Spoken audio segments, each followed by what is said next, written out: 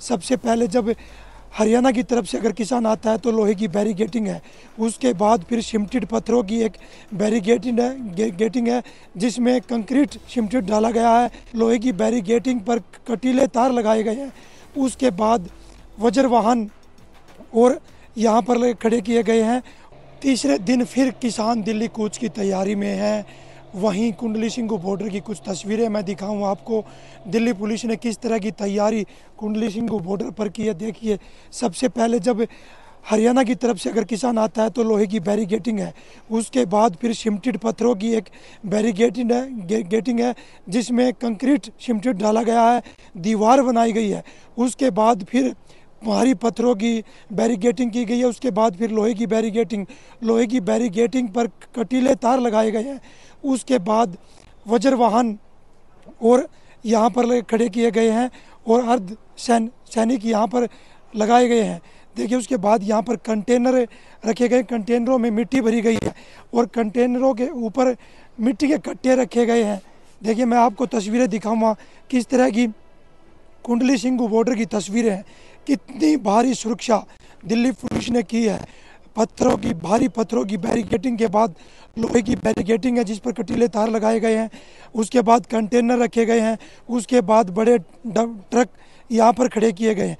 और यह दिल्ली पुलिस ने टेंट लगाया है, जहाँ पर दिल्ली पुलिस के अधिकारी बैठकर हर एक्टिविटी पर नज़र रख रहे हैं और दिल्ली पुलिस के आला अधिकारी इधर दौरा कर रहे हैं।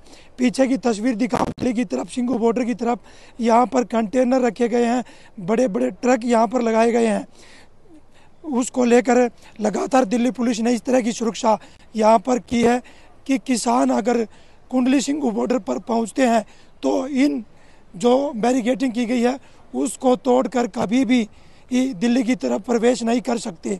आज जिस तरह से गुरुनाम चढ़ूनी भी एक महत्वपूर्ण मीटिंग बुलाई है, जो कि कुरुक्षेत्र में एक महत्वपूर्ण बैठक हो रही है, उसमें गुरुनाम चढ़ूनी कोई बड़ा फैसला वहाँ पर ले सकते हैं। और पंजाब की बात करूँ तो पंजाब में आज 10 बजे से लेकर शाम के चार बजे तक रेल रोको अभियान किया, आह्वान किया है।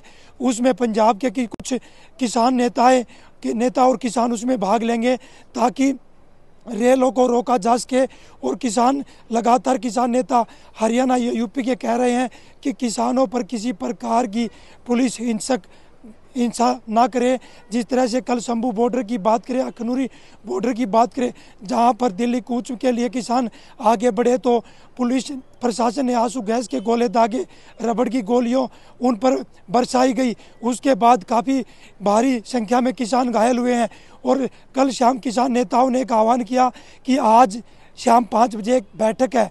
उस बैठक में क्या निर्णय निकलता है? और किसान नेता क्या रणनीति बनाते हैं?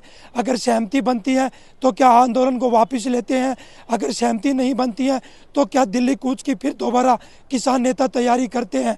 उस तरह से पंजाब के तीन बॉर्डरों पर किसान नेता बैठे और किसान पहुँचे हैं। अगर किसान नेता दिल्ली कूच की कॉल देते हैं तो कहीं ना कहीं हरियाणा और यूपी के किसान नेता भी उसमें शामिल होंगे और दिल्ली कूच की तैयारी करेंगे। कुंडली सिंह बॉर्डर से पवन राठी हरियाणा तक।